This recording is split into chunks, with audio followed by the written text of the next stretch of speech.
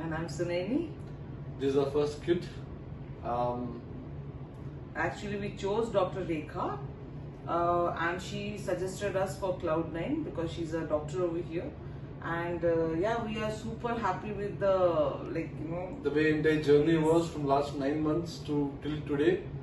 The journey from the doctor care, how Rekha took over the process, how she guided us to the entire, um, you know, the pregnancy uh, uh, protocols, and then when we got enrolled into the hospital, the entire procedure, even though we got enrolled in the midnight, there were some uh, procedures we had to go through, then enrolled, then the next day the doctor came over. Um, we tried for the normal delivery, though it was very supportive, the entire staff is really good. The staff listens to what shortcomings, what needs to be improved, how things needs to be uh, taken forward, what is lacking, what is not there.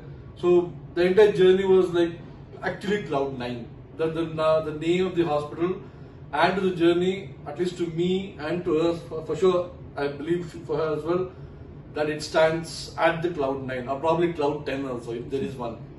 So I would really thank entire Cloudnine staff, the hospital, and as well as data, uh, Dr. Rekha importantly because if she was not there, probably wouldn't come to Cloudnine.